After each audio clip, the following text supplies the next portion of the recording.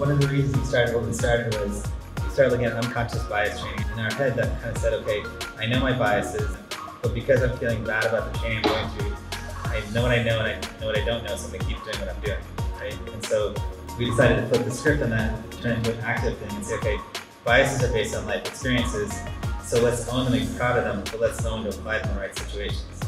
If you hit like a diversity top level metric, but if you look at your granular level and say, okay, all my engineers are Indian, and then all my salespeople are white people, and then all my accountants are Chinese, you, you don't really have true diversity. And for us, it was a mix of getting your management to start looking at this, the organization you want to be at some point, um, and not where you are today. The second part was investing not just internally but externally in building that workforce that you hope to have at some point. Put some skin in the game rather than just marketing saying, hey, I want to do this, but actually doing something about it.